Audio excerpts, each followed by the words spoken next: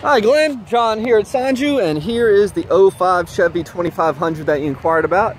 I uh, just want to give you a better look at it and remind you that it is here and available.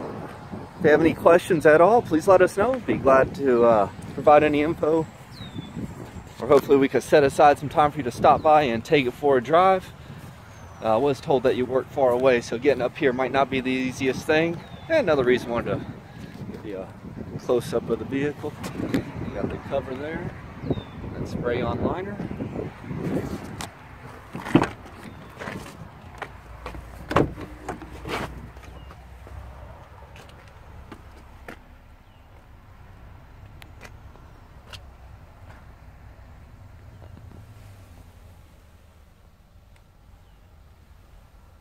Alrighty, Glenn, there we are. As mentioned, just wanted to give you a better look at it when you have a chance, please get in touch and we'll go from there. Thanks. Have a great day.